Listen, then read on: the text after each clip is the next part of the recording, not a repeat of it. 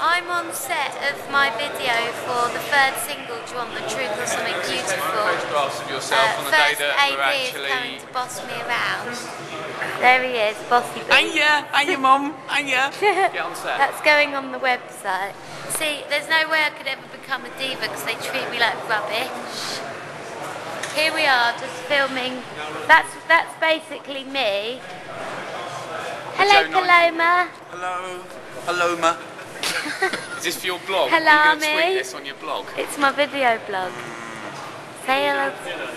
There's Chris Sweeney, he's the director. Hello. It's so low budget, he's hanging his own prop. This is my dress. Had to bring- Something for the weekend. And he doesn't have an assistant to actually hang it up for him, he did it himself. Uh, Paul. Uh, This is. Kimmy O'Neill who does all the styling. Ever so stylish, obviously. Say hello, Kimmy. Hello. She's got a tea cozy on her head. What's it looking like?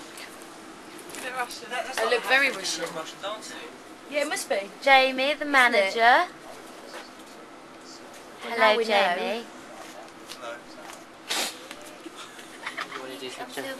Paloma's new uh, fashion look. This is uh, my new look for Yep. the tour. We're doing a kind of glamorous with casual on top just to change things up a bit. Yeah. Watch the space. um, I've just had to cry, which was difficult because I've just spent the last three days crying for real, and I've come on set and I can't cry anymore.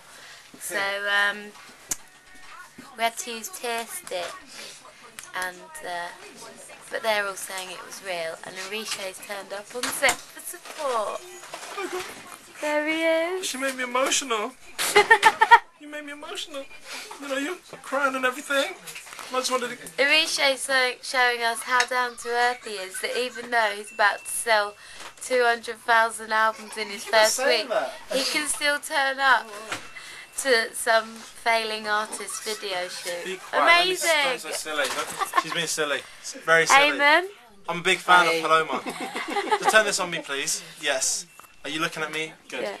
I'm a big fan of Paloma. She knows it. I love her album. I've been jamming these tunes, and this new song to this video was one of my favourite on the album. So I'm very happy to be a part of this. Here's that 50 quid.